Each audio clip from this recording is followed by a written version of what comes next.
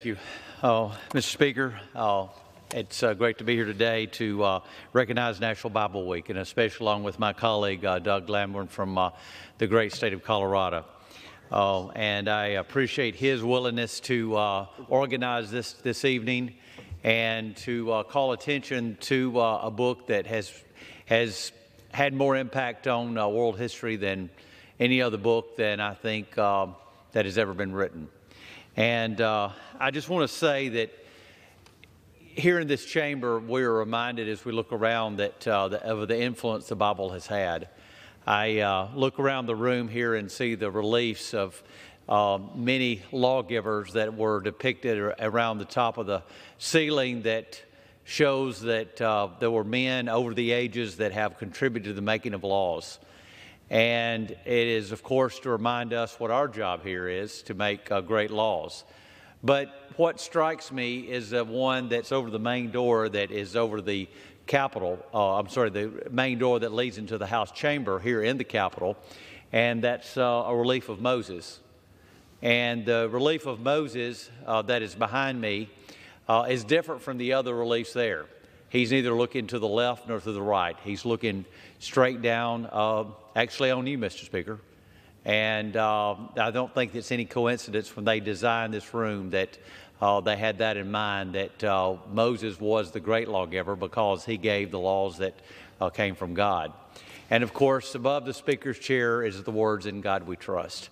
So it is uh, on and on throughout the Capitol building itself, you see the, uh, the, we remember that the Bible has such a significant part. But there's one painting here in the Capitol building that I want to call your attention to as in closing that a lot of uh, people don't really think about, and that's the signing of the Constitution. They have seen this painting, but it's uh, here just a few steps from where I stand right now, uh, and it was painted in 1940. Uh, the artist was uh, commissioned to, to design a painting showing the signing of the Constitution in Philadelphia. And in that painting, you will see several uh, of the delegates, and most of the delegates are actually depicted in that particular painting. And in that particular painting, you have George Washington that's presiding over the, the signing of the Constitution. You can see Ben Franklin prominently uh, depicted there and uh, several other of the founding fathers that you can see depicted. Uh, but on the far right at the bottom, you will see one of the delegates there, uh, who was Delegate Robert Morris from Pennsylvania. And unless you look closely at that painting, you may not notice, but he has his elbow on the table, and right beside his elbow is a book that is open. And if you're like me, you may have passed by that painting on many occasions but never noticed what that book was about because you just think it's maybe some law book that was open there during that particular time. But quite honestly, if you look closely at the painting, you can see that it says St. Matthew chapter 5.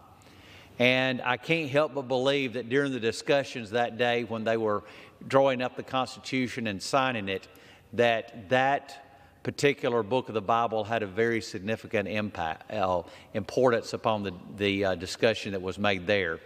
And because of that, uh, I've read through chapter 5 of, of Matthew and tried to really sort of figure out what it is that maybe they were talking about that particular day.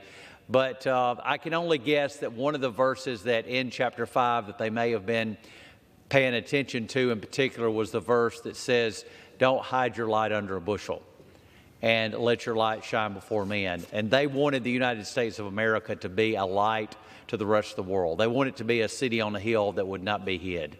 And that's a, exactly what I believe that our nation has done over the last 250 years. So, Mr. Uh, Speaker, it's great to, to be, have a chance to talk about the uh, Bible, the National Bible Week, and I congratulate my colleague, Congressman Lamborn, for his work here and uh, thank you for us being able to draw attention uh, to this uh, book that has really changed the life of so many, uh, literally millions of people around the world. I yield back.